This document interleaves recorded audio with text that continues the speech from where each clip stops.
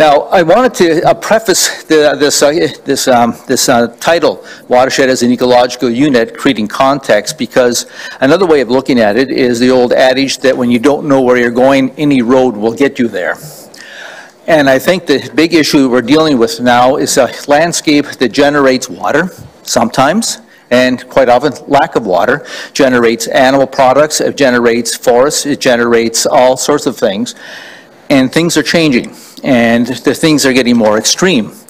And the challenge is that when you don't understand your system, then you make decisions that may be good for one aspect, but may affect other aspects of your natural system and your, and your human-based system. So we developed and started working on watershed planning many years ago as a, as, a, as a tool to try to better understand how our systems were functioning so we could make educated, wild ass guesses when it came to proper management. So the outline, I'll, I'll, I'm going to go over a little bit about uh, just why do we manage on a watershed basis, talk a little bit about it as, as an ecological unit. You'll hear me use the term context quite a bit because context is everything when you're dealing with complex systems. And we'll talk a little bit about the key elements of watershed plans and also a little bit about moving forward with watershed types of plans because watershed plans vary depending upon the scale of the system you're dealing with, the level of information you require, and so on. So it's sort of the other answer, you know, I'll, I'll, mention another, uh, another little quote in a few moments. And the challenge is that we've all been here before. We've been here with when it comes to systems changing and adjusting, we learn from it, and then we tend to forget. It seems to be about every 30 to 40 years we forget the, the science that we learned 30 to 40 years ago. And this is just a, a fun little cartoon from the uh, Carling Conservation Digest when Carling O'Keefe used to sell beer to a lot of outdoorsmen. They had a, had a journal. This is from 1947, and it shows Pine Creek in 1872, a beautiful little stream, forested landscape, trees, dicky birds, little critters flying all over the place, and a young lad bringing home a nice stringer, probably of brook trout. And there's the same young lad, now an old codger, talking to his grandson, saying, when I was your age, William, a sparkling stream flowed here. What you see is the result of the destruction of the forests and the swamps. That was 1947. They already had the correlation between if we don't manage the landscape properly, we change the water budget. When we change the water budget, everything changes in the landscape. How can we keep forgetting this? I don't know. It's just a mystery of humanity that we have a tendency to have to rediscover things. What's the old adage about those that don't learn from their history are doomed to repeat it? Well, I don't want you folks up here to have to repeat the things that our forefathers did that made that created mistakes that we're trying to solve today. So another little quick, quick thing is that it, this is really important to everybody, this whole issue of watersheds. For example, if you go to BC, one day I was driving through Nelson and I noticed that they were fasting for watersheds. I thought that was absolutely amazing. And what was happening there was uh, there was a new forest uh, cut block proposed for the Slocan Valley, which is a tributary of the, um, of the Columbia through that area. And a whole bunch of folks chained themselves to the gate going into the um, cut block because they were worried about their, wa their water supply and worried about sediment going into the rivers and streams and affecting animal life. And when the, the uh, RCMP went to uh, arrest these folks, uh, there the, the, two people that were chained, a man and a woman, they asked the man's name, he said, my name is Earth. They asked the woman her name, she said, my name is Water.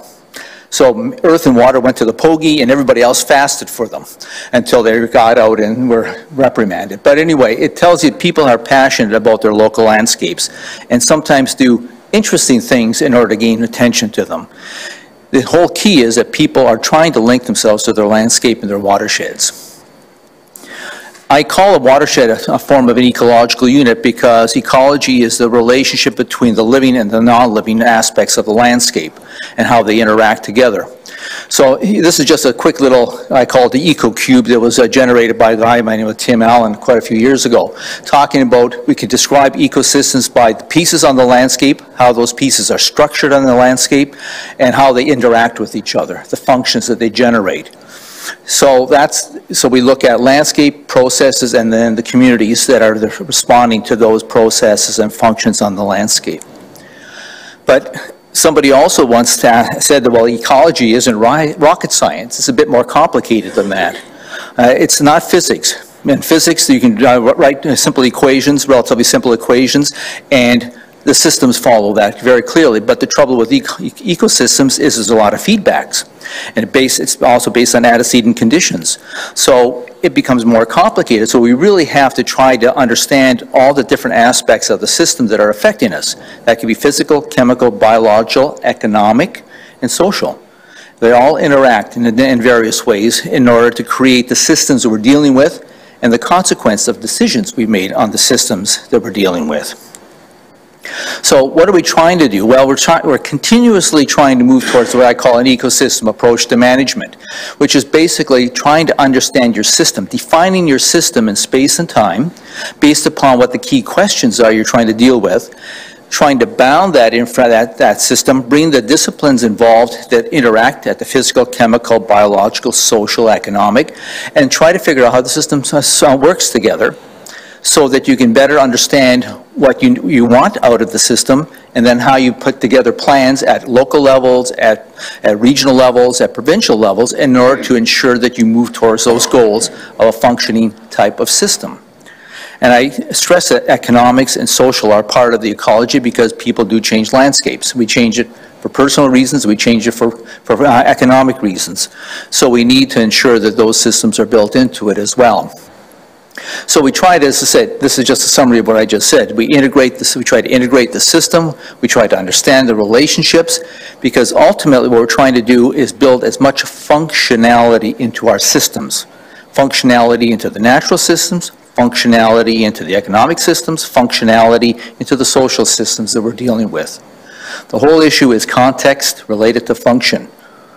So that's what we're trying for with the type, with watershed type of planning as it's evolved. And I just want to mention that watershed planning or catchment management planning started because the Thames River went septic back in the 70s and early 80s, and as a result, they put enormous time and effort into a catchment management plan for the Thames River in England.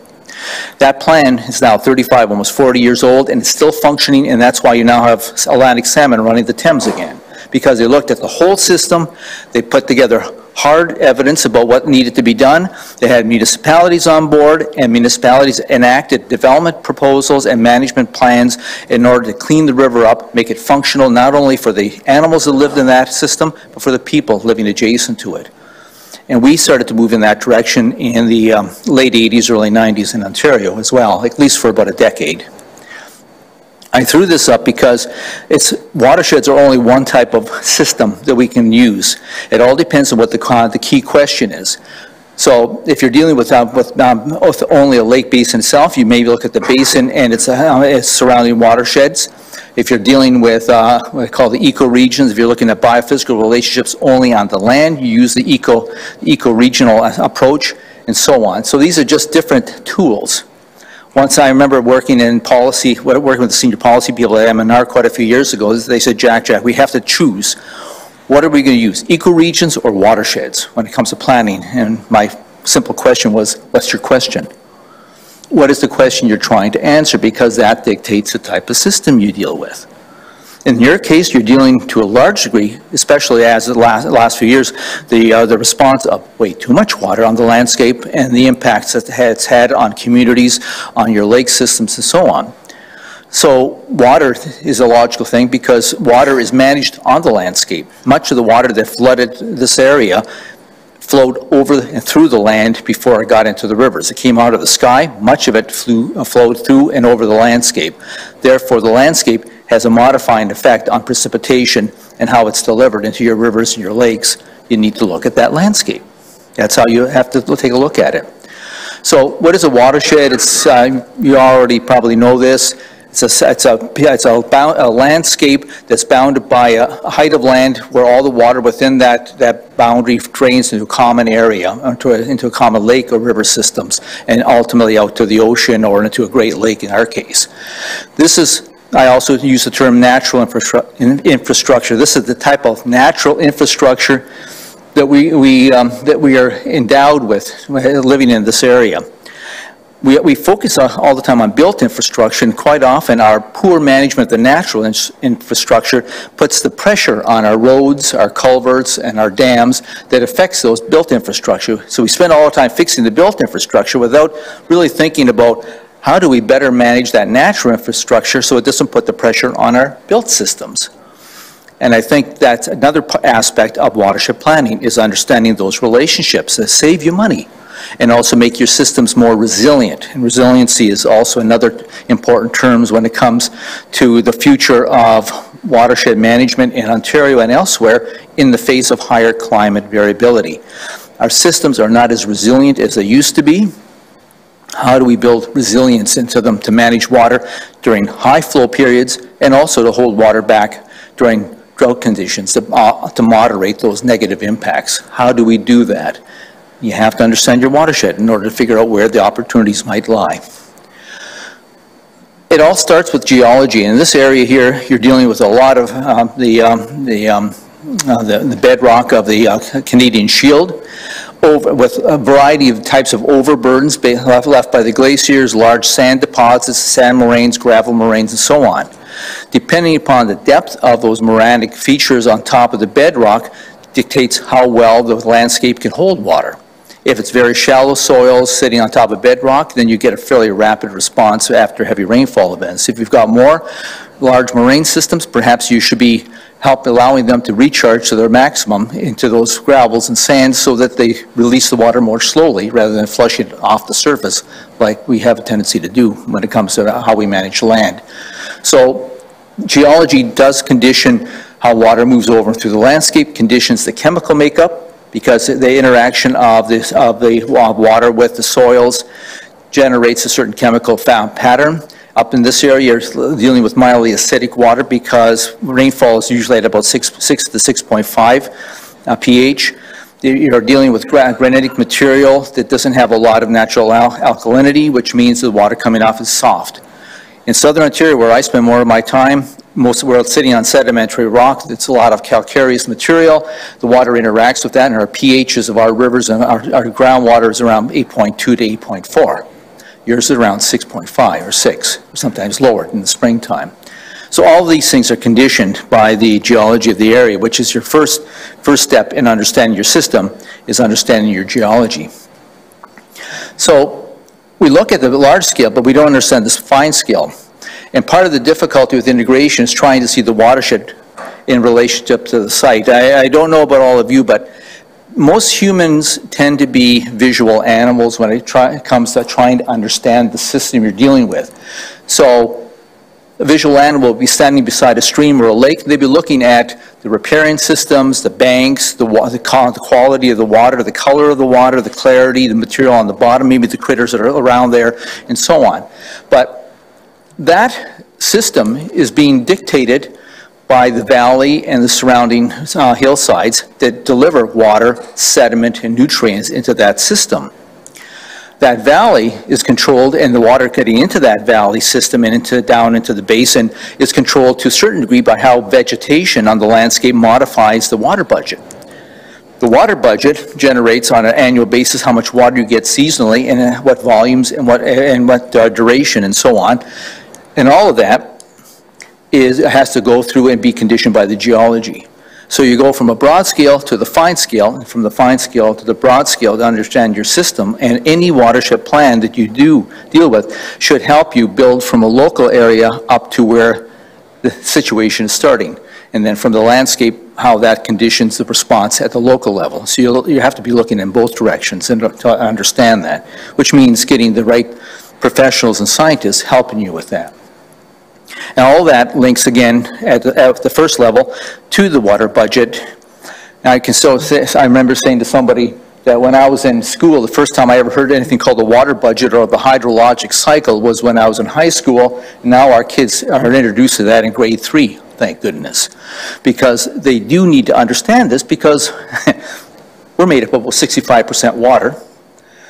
So it's kind of important, but we take it for granted but under, understanding how it gets into our systems, where it gets, at what proportion, uh, when it falls from the sky, what proportion goes back up into the atmosphere, how has that changed, how much goes into the ground, how much runs over land, how much goes into the ground, comes out more slowly, how does that affect the channel structures you, you find, the receiving water bodies, the rivers and the lakes, lake basin levels, and how they fluctuate over the course of a year.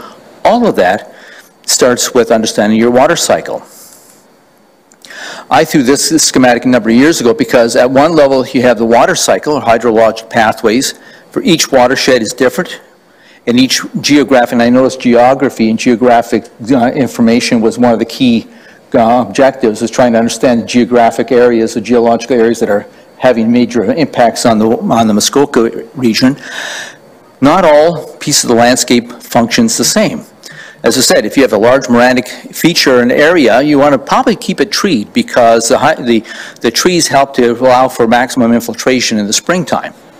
If you clear cut all those trees off a major recharge area, they will regrow, but you'll have a change in the water budget for about eight to 10 years until those vegetation grows big enough to start pumping water back into the atmosphere and allowing for infiltration to work properly. So you may have five or seven or eight years of which you're going to have an increase in surface runoff, which will affect flood flows in your, your area. So there's things you can do with landscapes once you know how they function, which pieces function. On the other end is what's happening in the, the, bottom of the basin, in the lakes and the rivers that are flowing through the, through the valleys. Because that's where you have the ecological pathways of how water moves down into the valley, through the valley, how it interacts with the shoreline and the riparian area and its floodplains in the case of a large river, and how the groundwater interacts with the system.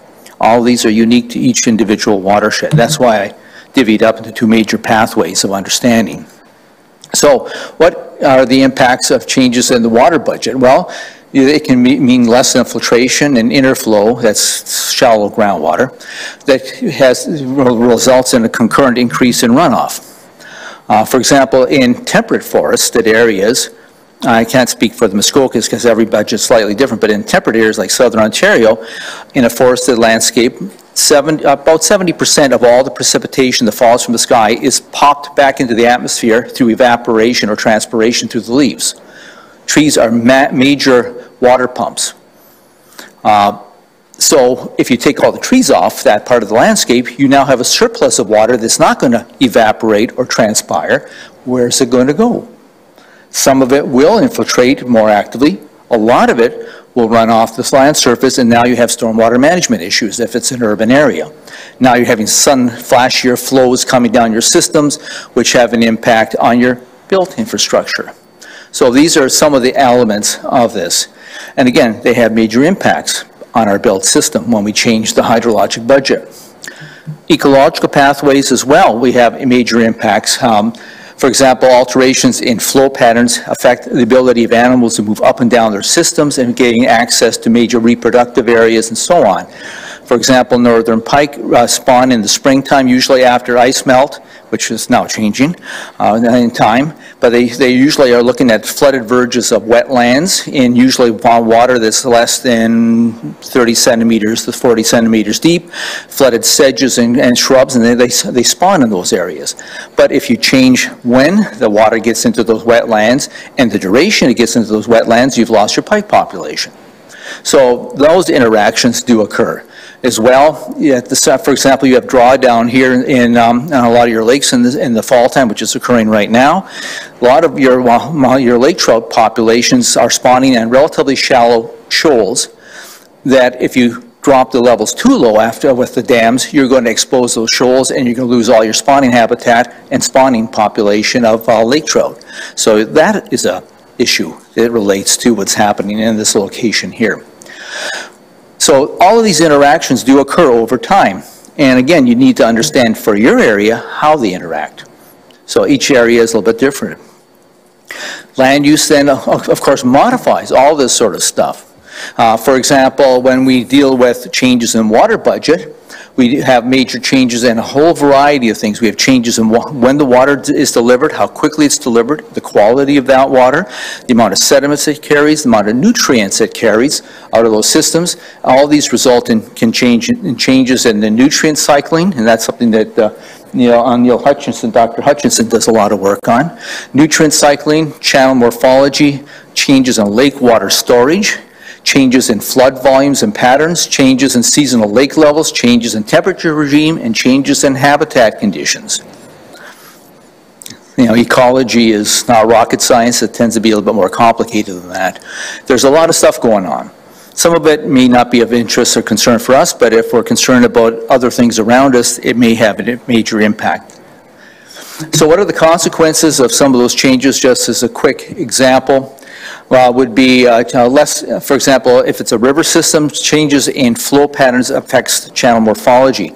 Uh, I never heard of a field of science up until uh, about the early 70s called fluvial geomorphology. Try to say that three times really, really fast.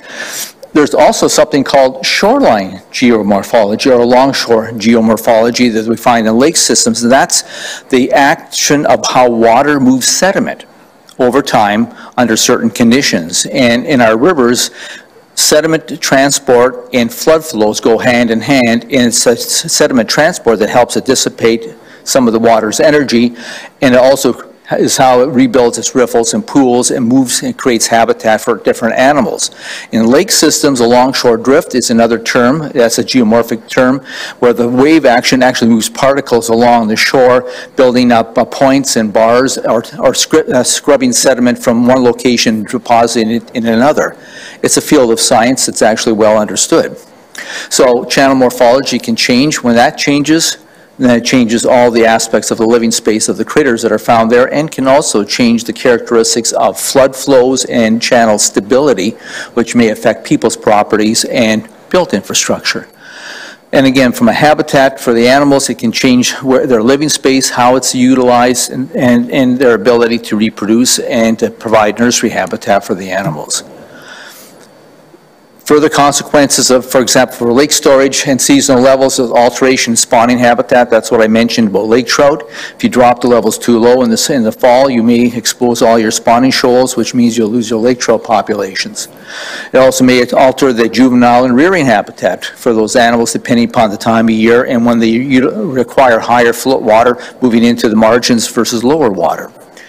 The temperature regime can also eh, have an effect now with cli higher climate variability. I mean, we've now had, what's it, 14 months of the highest monthly average temperatures in the world. I mean, that's a trend that's kind of worrisome. I mean, all you need is three data points for a trend. Now we have 14, and they're all going in a really bad direction. So temperature is going to be a big issue, especially when you link it to the nutrient cycling, because uh, especially up here, you've got a lot of folks with a lot of septic systems. I don't know how good those septic systems are. Some of them may be really good, some of them may not be so good. And what we're finding, especially with smaller northern lakes that have cottages and other sources of nutrients, is we're starting to see more and more incidents of blue-green algae blooms. Now, blue-green algae is really kind of interesting because it generates a really neat set of toxins that can't be taken out by just simply boiling the water. And they can kill things. Um, way down south in New Dundee, Ontario, as a tributary called Alder Creek flows into the Nith, uh, they had a blue-green algae bloom about eight, nine years ago, quite, a bad one. And I think a half a dozen horses died because they were just drinking the water out of the reservoir. So if you take your water out of the lake and you have a blue-green algae bloom, you may have some challenges. So you, you need to watch out for that sort of stuff. It's not happening right now around here, but the trends are becoming more marked in other parts of the province. So we need to figure out a better way of managing. And we need to bring the professionals to, together to integrate their understanding so that we can understand the relationships between the disciplines and the systems themselves and how they're working. So we're trying to link that watershed uh, its natural system to how we use it. We're trying to understand how it's connected to the lake basin, how those tributaries way up. For example, the Oxtongue River way the heck up in Algonquin Park has an impact on flood flows that eventually come down here into uh, Lake of Bays. We're trying to understand how we what type of tools we require, what type of management plans we require that are not just municipal plans within the municipality, but plans for how we look at uh, uh, management of those forested areas, management of our wetlands. What wetlands have you lost that might be storage areas for future floods? What are the, how is your system functioning? What tools that you want to put in place to better create higher levels of resilience? The last item that I put in here goes down to, I think, one of the goals of the of, um, of, uh, of the new initiative here, and that is linking knowledge to social learning. Ultimately, any plan is only as good as the community community's input into it and the community's understanding of the plan and the science behind it. Kevin mentioned the um, the first watershed, sub-watershed plan we did in southern Ontario was on Laurel Creek uh, uh, in Waterloo. And what was quite amazing is it was a it was a one and a half, almost two-year process. At the end of it, the, as one, as the mayor, uh, Mayor Trimble at the time told me, he said, well, on one hand, we have the, what he called the eco-nuts, the guys that were going to chain themselves to all the trees to protect all the trees in the watershed. Uh, the other hand was the Urban, Dev- uh, Urban Development Institute that felt all the land should be developed. And he said, and everybody in between, he said, I can't believe it, Jack. We've just finished this plan, this process. They've got all the information and they're all agreeing with each other. He said, there's something horribly wrong here. It took council 25 minutes of discussion to implement, to accept the watershed plan and build it into their um, secondary plan. Because the community was on board, because the community understood it, because the community had been involved at key points all the way along with all the information presented to them and showing how the relationships work and why the recommendations for planning and moving forward were established. They bought into it, and then they pushed council to move it forward. That's what you ultimately want here, is have the community, the people that live here to understand it and to understand the consequences of doing it right and the consequences of perhaps not doing all the things they could do. Everybody has to understand those consequences. Whether they choose to do that so is another matter, but at least they understand. So, things are complicated, and this is my other fun quote that I love. Complex problems often have easy to understand wrong answers. You just have to look at the US right now to understand that. We have a lot of complicated things that we deal with in life. If it was easy, somebody else would have figured it out years ago. A lot of these issues are complicated. They require good information and discussion and debate and better understanding in order to solve them. So problem statements, I, when I think about actually trying to implement things, why are we trying to implement things? Well, first of all, we see constantly getting new issues, and all the issues we're dealing with becoming more and more complex. We're often finding that simple solutions solve one problem, but then create half a dozen other problems because we're, again, thinking of it as a single, single solution. We're getting more and more government policies coming up. The reason I put all these up, and, uh, up here is because I, have, I was asked by one person, this is what we we're doing some brainstorming about um, early mid-90s with our senior policy people in MNR saying we need to figure out what the ne next big set of issues are that we have to develop policy for. And I was trying to explain to him it all depends on your context. So I was trying to figure out an, an analogy for contextual understanding. And I realized that the perfect uh, explanation was at Victoria Day, when you have all the fireworks, and one of the types of fireworks the kids like is that spinning wheel. You light the wheel and the sparks go off and it spins faster and faster and faster. Well, issues are the sparks. The trouble is that we have a tendency to try to catch the sparks rather than addressing the wheel what is creating all those different issues? We have to understand the context. So the answer was we have to realize the wheel is the context, not, context, not the sparks. We address the wheel. In our case, the wheel is the watershed. So you got to understand that a lot of the, not all, but a lot of the big issues you're dealing with are as a result of changes in the different aspects of the watershed, how we've used it in the past, how we're using it currently, in relationship to higher variability. And once we understand those relationships, then we can create better plans and management plans to help try to address it, rather than saying, we have big flooding, we have to put berms up. Well, maybe berms are part of a solution. It may be not the biggest solution. It may be something to help the folks that are there right now, but we're still developing, we're still doing other things on that, on the watershed and other parts of the land, of the, of the shoreline. You have to make sure that you address all the future aspects as well. So we need to figure out the wheel, not the, not the sparks. Watershed planning has evolved. Back in the 80s, we did simple things like uh, floodplain mapping and floodplain management.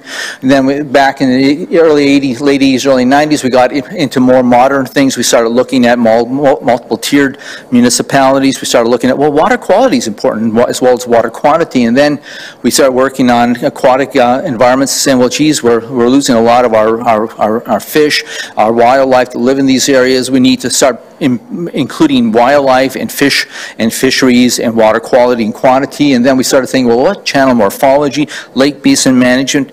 We worked our way up up and up and up, we started to start to see that eventually we started to get, look at the whole watershed as the context. And that took, well, actually up to the mid-90s is when we started to realize that we needed to really build this in in order to under, better understand how we want to move forward. And the province stressed the fact that what we're trying to ultimately do that little squiggle there in the middle there, that's a, that's a little mini watershed. It's sort of sitting there, and over time, its health and its, its resilience has sort of deteriorated as different, as, as we came in after, and uh, sort of partially displaced uh, indigenous folks. We started to utilize the landscape a little bit differently than they did. We started to clear the forest for farming. We dammed a lot of the rivers for hydropower because it helped to build our economy. But at the same time, the consequences were the system changed over time. We're at a point now where we can choose the trajectory of where we want our watershed to go. We're not victims to a, a decline. Yes, things have declined in many cases, but we're not victims to that. As long as we have good information, we can make better decisions and we can change the trajectory. And that's where I, I, say you're at a very lucky point right now where you have some funding and support to try to move your trajectory to, our, to your watersheds of the Muskokas to figure out where do you want it to go. Because ultimately, having a real clear goal on the system is going to help you move more effectively forward in that direction. If you don't have a goal, you get back to that old adage of when you don't know where you're going, any road will get you there. So this is where we say that you do have a choice when it comes to the trajectory. And again, you need that contextual understanding. You need to understand form of the system and its function. You get into that composition, structure, and function thing. You need to understand what's causing things rather than, in fact, I teach a course on watershed and stream rehabilitation uh, across Canada. And one of the key things we say is treat the cause of the problem, not the effect. Sometimes you can't deal with the cause, you have to deal with the effect. But ultimately, you want to figure out what is the cause of all this, the problems I'm facing and try to address that. Again, nobody said it was going to be easy, but with good information and a community that understands the consequences of not doing it well, you'll have a better chance of moving to solving the cause of your problems. You want to understand then, for each solution you generate, what are the consequences of your various management outcomes? Are they helping you move in the trajectory you want? Are they not helping you move in the trajectory you want? And then you want to have the full breadth of possible options ahead of you. I can still remember uh, a good friend of ours, John Plank. Kevin remembers John. John, uh, one time I was saying to, uh, to John, John, we have to take people out and ask them what they want. And he looked at me and said, how can you ask somebody what they want unless you tell them the whole thing, all the breadth of what they could have? I thought, well, what do you mean? He said, well, most people grow up in a certain community, a certain area, they see certain things and they figure that's the limits of things that they could have. But maybe that may not be the case. With better information, you might find that the breadth of things they could have is this, but they're used to this. So you need to show them what they could have in order to make a better decision of what they want. This gets back to the social learning, and one key aspect of well-run watershed planning is engaging the community with all your information step by step to show them the relationship so they can start to understand what they could have and ex should expect. So that gets into the whole idea of the full breadth of opportunities. It's not as though we haven't been here. Now, myself, Don Greer, Fred Johnson, and about three other people with the Ministry of Environment worked for about five years to develop this planning process for watershed planning in Ontario. We have, these documents are all still around, and I actually, I'll have them all on uh, as digital copies if you guys don't have them. Um, and they guided our watershed planning. We did over 180 watershed, sub-watershed plans in, in Ontario between 1989 and 2000. Things got stalled by the mid to late 90s uh, because of down, downsizing of government. We stalled and then we eventually sort of wandered away from watershed planning because there was no money for it anymore in government. But those initial watershed plans moved us enormously forward with a number of the watersheds we dealt with. The city of Waterloo is still implementing the Laurel, Laurel Creek sub-watershed plans, which identified all the standards for, for development. It told them where they could develop, where they needed special approaches for development, and where more general uh, layout for development could occur. Those are being respected, and also identified how they had to put the developments in and their standards. And what the developers told us is it makes it a lot easier for me to know exactly what you want up front rather than trying to second guess it through the, through the approval process piecemeal, bit by bit by bit. As a matter of fact, our, some of our strongest allies with the watershed planning in Waterloo were the developers who saw that once and for all they had an upfront plan of where they could develop and how and what their standards were. They didn't have to second guess everybody. So it saved them money, which meant that they were a bit more generous about doing other good things as well. So what are we trying to do? Ultimately, we're ultimately trying to manage human activities and natural systems within a defined unit, which uh, we're calling an ecological or geophysical unit, we're calling it a watershed. We're accounting for spatial and temporal planning skills. Planning, oh, I thought I left one end out of planning. Because we're looking at not only what we're doing today, but the planning that we likely will see in the future and how that's going to transpire. We're looking at relating where the water comes off, falls from the sky, how it goes through over and through the landscape, how it's modified, where we can adjust it if need be to moderate things, and where we can't. In some cases, you cannot adjust things because you only have so much geology, surface soils, and so on to work with. But also strives to look at how we create plans and policies for sustainability so we don't have to worry constantly about Uh, impacts on our built infrastructure. We reduce the impacts on water quality. We have careful development. We look at restoring parts of the landscape to rebuild resilience and functional features. We recognize that things are complicated, but we have the information that shows how they relate to each other so people can make rational decisions and weigh which, how far they want to go in which direction in order to achieve certain things. And you've integrated all those scientific information so it's available and and, and, and, and defensible as well. And when it comes to that, you also identify which agencies are responsible because not municipalities can't do this all. There's a very big role for the province in this and perhaps a certain role for the federal government. Also, for the, from a standpoint of development, it creates standards and locations for development and ultimately tries to strive, as I said, for that engaged community. In the last five minutes, five, five more minutes? Five, eight more minutes? Okay. So what are we trying to ultimately integrate? We're trying to integrate a process. So first of all, we're trying to understand how all this technical stuff links together. The we're going to analyze it. So you're looking at engineering, geomorphology, hydrogeology, hydrologists, water quality specialists, forester, forest specialists and so on, working together to tell you, here's how we can work on this. Then you're looking at lake uh, limnologists to try to understand how your system's functioning, how the water levels are affected by different types of inputs from different parts of the watershed.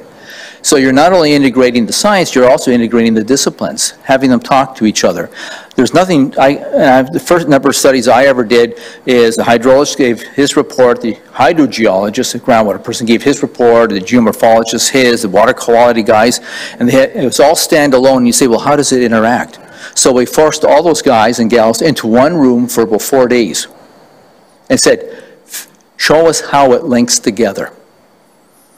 It took them four or five days, and then all of a sudden they started thinking about it themselves. And in the future, in other future watershed plans, they already were starting to talk to each other about this sort of stuff, and gave got, they each got new understanding of the other disciplines and how it was affecting their their uh, type of focus, and they were able then to help adjust and have everybody else understand the focus and how things were functioning at a more integrated standpoint. As one some, somebody once said, it's one system. We just, from a scientific standpoint point tend to divide it into disciplinary lines and then forget to put it back together again. So part of watershed planning is integrating that understanding and bringing the common vision to, to the purpose. Also, that institutional understanding so that we are making the best decisions based on the best evidence possible. Whether you choose to go that far in one direction or this far in another is up to the community and to, to its elected officials, but at least you know the consequences of moving this way versus this way and how far, and you can balance those needs in amongst your, the economic, social aspects of your community. And finally, you're integrating a view so that the vast majority of the community, the cottagers, the people that live here, the people from away, start to understand how your system functions and the rationale behind the decisions you're making so they're understandable, so that there's li li limited confusion. If they want to argue with you, they can argue with the science. And that's, that's fine too. But at least there's something you're backing up your decision-making because the community also understands. So the, the left is, the- is general stuff of the state of the science. The right uh, on this, the application of science, these are the steps we cut off and take with watershed plans. We characterize our landscape, our watershed. We then start to utilize the, the tools to understand and predict different responses based upon how we understand the system. We then determine what our issues are and how those issues are created by the by how the system is functioning and how people are using, using, using it, and we try to make up rational decisions based upon those issues. We communicate that information, we make decisions, and I, ultimately, we decide what we need to monitor to determine whether our decisions were the good ones. Because all of these plans still, every five to 10 years, should be reviewed, at least along, at a certain level, to determine whether you're still on the right trajectory, the one that you've chosen. So in summary, there are a lot of tools out there already. I think uh, Don Greer, before he retired from the Ministry of Natural Resources, worked very hard to develop a water budget tool for the province that helps people to, to develop a water budget for each of their watersheds. So that water budget tool is still available. We have phosphorus modeling and nutrient input models, which especially for your lakes and the water quality of your lakes is going to be critically important to understand. We have, in many cases, seamless surface water and groundwater modeling that's been developed, at least in the south. I'm not sure how well it might apply here, but uh, you've got, there are that modeling. Uh, the nodes for that expertise is, uh, has been out of the University of Waterloo over the years with their Center for, for Groundwater Research. Uh, there are governance structures and community-based involvement is also a critical component. And when I say involvement, I don't mean consultation, I mean involvement. I mean, actually talking to folks, explaining things, hearing their input, trying to demonstrate what the science is saying and getting their response to it and trying to have everybody understand everybody's perspective. And finally, trying to figure out what the enabling legislation is that you have. Because one of the things that I really firmly believe in is that if we only focus on a regulatory approach, regulatory approaches are based on the minimum standard. I once said to somebody, you can take a pristine environment and, take, and apply all your minimum standards, you'll have a minimal environment at the end of it. So the regulation is a good friend of mine. I'm also an adjunct through the School of Environmental Design and Rural Planning at, at Guelph, and I spent a lot of time with, with um, policy guys. And, and, their comment was, when it comes to uh, resource and environmental management, your last recourse is regulation your first recourse is, a, is an involved and committed community that understands the science and information and can make good decisions, better decisions than your minimums. And then for those poor actors, you have regulation as your backstop. These days, we've downsized government rules so much that all we have left are regulations, and they're not going to get us where we want to go. They'll help a little bit, but they'll only slow the slide down. So we need things that enable people to do a better job than the minimum, which means we have to move towards an outcome-based management. Here's where we want to go. Can you help us get there? Here are the standards that we want to get to, not the ones we have right now. Can you help us as you put your development in, get to that location? Those are the types of approaches we need. Otherwise, that trajectory may not be going in the right direction. When it comes to the communities, a good uh, friend of mine, Steve Bourne, uh, this is a quote, it's kind of wordy, true protection and restoration of natural environments will not occur until we engage those with whom we would not normally associate. This sounds like Facebook. Uh, Facebook has taken that to the extreme where they all, their algorithms determine what type of person you are and the types of things that you agree with, and they link you only to people that agree with you. That's really a difficult way to really solve problems. So we really need to figure out what are those folks that don't necessarily agree and bring them in, have those difficult conversations, with information and science and data to figure out how we better improve things. Because once we do that, then we move forward more quickly. And again, that plan has to be both for the people and its resource. The best planning I've ever done was a plan where at the end of it, the community said to me, thank you for helping us, helping develop our plan. Can you guys from the agencies now help us implement it? That's when we all did a high fives and MNR and conservation authorities because actually it was their plan, not our plan. It was the plan of the community based upon the best science we were able to provide them. We gave them all the data, the information, and you know what? Nine times out of ten, they came to the same conclusion that we did. But it was their plan, because they understood it and were recommending it.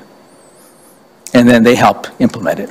And they still are. That was uh, the, uh, one of the major fish plan on the Grand. It's still going 15 years later with all the uh, actors around the table still implementing it as it goes. So these things are really important because it ultimately becomes a people's plan. And that hopefully will be what you guys end up with through this process is a people's plan based on the best information available and an understanding of the consequences of the different courses of action and how far people wish to go with those things. And I, years ago, we had this argument with uh, municipal affairs who said, you guys are setting up a watershed planning process that's, that's in conflict with the, uh, with the, with the municipal planning process. And I said, how can this possibly be? All we're doing at certain points is giving you better information in order to make a decision on what your municipal plans should look like. So this, we came up with this. So the watershed plan starts, provides uh, at a very coarse level of information that goes into your official plan. That official plan feeds back into the next level, the finer level of planning that goes in at more local level within a specific municipality, figures out what they could have to get you towards your municipal, official plan, which is also understands how the watershed functions. That gives you your secondary plan and so on. So they interact with each other all the way down the line. One providing information to the other, one more science-based, the other more community and politically based. But ideally, you're trying to get the best outcomes possible for the community and for the environment you live with. So this is where we tried to demonstrate the municipal affairs. 12 years later, the same person that was yelling and screaming at us about how this was contradicting the fish, uh, the, uh, the planning process, sat up in front of another workshop about watershed planning and saying watershed planning is our savior. And uh, I thought, well, at least you got religion but it only took her 15 years. But anyway, it's good. It sometimes takes, some people take longer, but she understood that there was actually input to it. It was not, instead of of municipal planning, it was an aid to good, sound, long-term municipal planning and implementation. So what are the outcomes we're trying for with this watershed? We're trying to rebuild our natural infrastructure to support the built infrastructure and the communities that live within that built infrastructure. In many cases, I say here, it's unrealistic. Somebody said, well, are you dealing with restoration, restoring the landscape back to its original form? Hell no, there's too many of us. Uh, You know, there's too many people on the landscape. What we're trying to do is make it as functional as possible, given the tools and the natural features of the landscape that we're dealing with, and how far we can restore those features, to get the functions that we want. We're trying to get as functional a state for the people and the environment. We're not trying to turn the clock back to 1750. We need that, in order to get that, we still need that integrated approach. We need it to be outcomes-based because we want to urge developers and others to try to see if they can achieve more than the minimum standards that are expected as a, as a base minimum for managing landscapes. And we really want to get away from that piecemeal approach where we're fixing one little problem here, but that exacerbates problems elsewhere. Somebody asked me, well, where does, where do the various types of, uh, what type of tools come out of watershed planning? These are all the tools.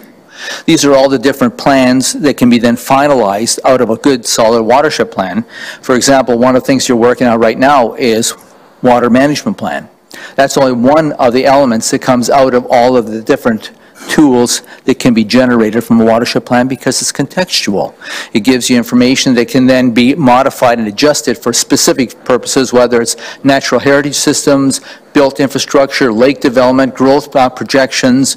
Um, If you're dealing with aquatic ecosystem management, trying to look after the critters that live in your uh, rivers and streams, forest management, biodiversity, they're all linked to sound understanding of your system. And they can vary. All watershed plans vary, the costs vary depending upon the scale, the spatial scale you're dealing with, and the level of detail required. If you're looking at a small plan of subdivision in a local creek, a overall large-scale watershed plan may be not detailed enough. It may be detailed enough to tell you what the, the issues are you're going to deal with at a local level on one small section of shoreline or river system. It won't tell you all the information, not at that level of detail. So you have it nested.